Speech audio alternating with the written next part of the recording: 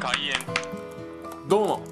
本日以前紹介した小池屋のポストチップスにいろんな調味料をかけて食べてみたいと思います。まずはソース。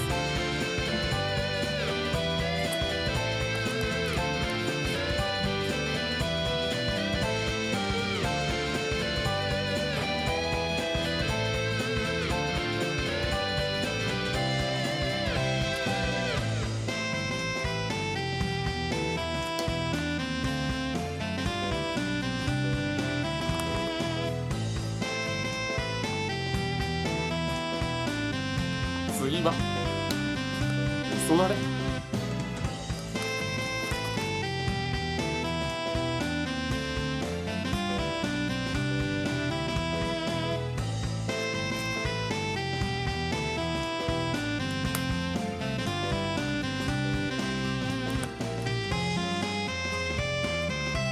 次はマヨネーズ。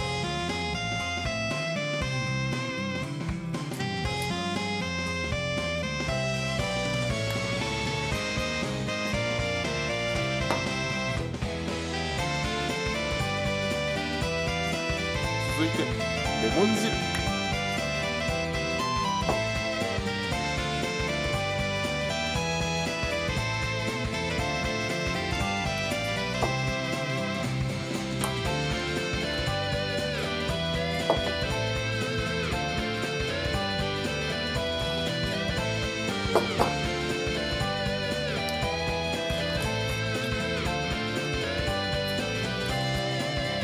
最後。カレー粉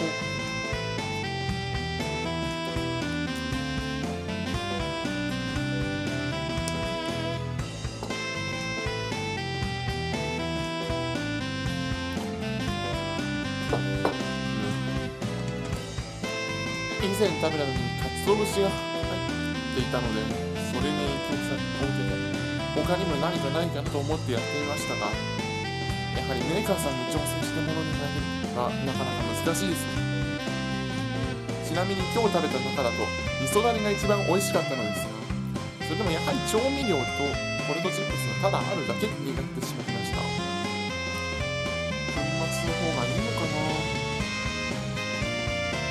ご視聴ありがとうございました。コメントしていただけると嬉しいです。チャンネル登録をお願いします。